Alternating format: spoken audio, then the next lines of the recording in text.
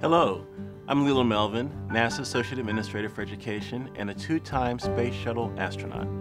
Each February, our nation celebrates Black History Month. It is a time to reflect and appreciate the many contributions made by African Americans.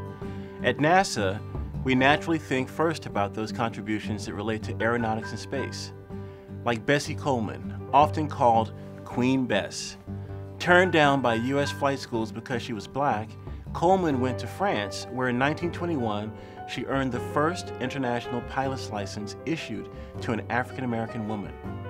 Or the trailblazing achievements of the Tuskegee Airmen, or better known as the Red Tails. They were the first African American military aviators in the United States Armed Forces. They served during World War II, a time when racial segregation was still very prevalent.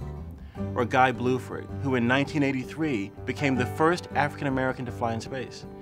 He went on to fly three subsequent space shuttle missions before retiring in 1993. On STS-47, Dr. Mae Jemison became the first black female astronaut to fly in space. Now, I was even fortunate enough to be a first.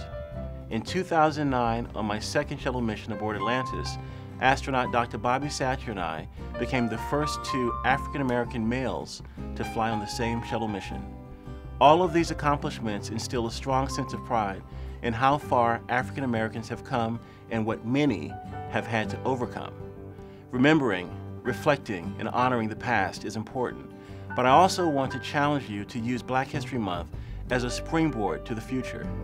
We've all heard of the concept of paying it forward. That is a credo by which I live. Ask yourself, what can I do? What can I do to help build on this incredible legacy we celebrate? We all have inherent talents and gifts to share.